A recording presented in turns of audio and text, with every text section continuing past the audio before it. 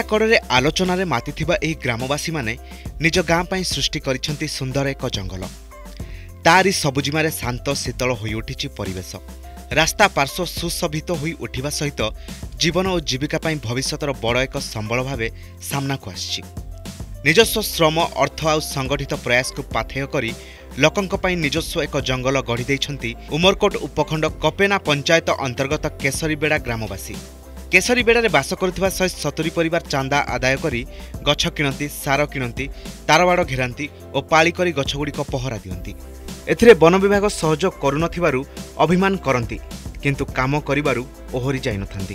ଗଛ ତ କିଣି ଆଣିଲୁ ଆଜ୍ଞା ଯତ୍ନ ତ କରିବାକୁ ପଡ଼ିବ ଆଜ୍ଞା ବାଧ୍ୟ ତାକୁ ତ ଯେମିତି ଆମେ ପିଲା ଛୁଆକୁ କେମିତି ପାଇଲୁ ଯେତିକି ଯତ୍ନ ଦେଉଛୁ ସେତିକି ଆମେ ଗଛରେ ଯତ୍ନ ଦେଉଛୁ ଆଜ୍ଞା। ଦିନକୁ ଦିନକୁ ପାଞ୍ଚ ଲୋକ ପାଞ୍ଚ ଲୋକ ବାହାରିକିନା ସେଇଟା କାମ ହେଉଛି ଜଗିଆ କରୁଛନ୍ତି ତାକୁ ଦେଖାରେଖା କରୁଛନ୍ତି ଗଛ ଗଛର ଘାସ ବା- ବାଛୁଛନ୍ତି ତାର ଗୁଣ୍ଡାଉଛନ୍ତି ସବୁ ଯାକ କାମ ସେମିତି ସରକାରୀ ବାବୁମାନେ କିଏ ଆସିନାହାନ୍ତି।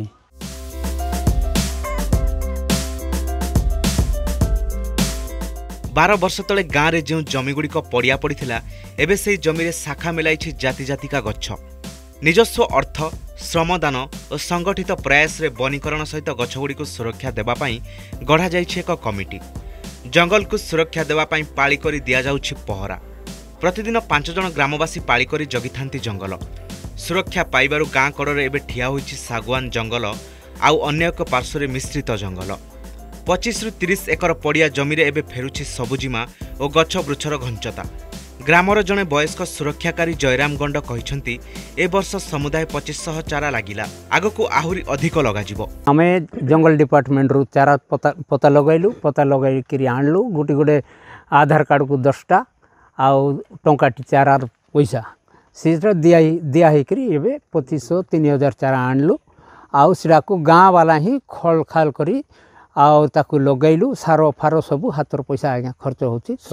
ହେଇଥାନ୍ତା କିନ୍ତୁ ସରକାର ସାହାଯ୍ୟ ତ କିଛି ମିଳୁନାହିଁ ଆଜ୍ଞା।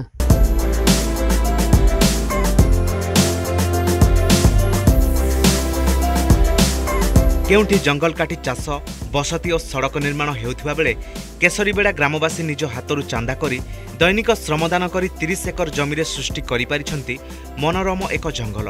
ଉମରକୋଟରୁ ସନ୍ତୋଷ ପାତ୍ରଙ୍କ ରିପୋର୍ଟ ଅର୍ଗସ୍ ନ୍ୟୁଜ୍।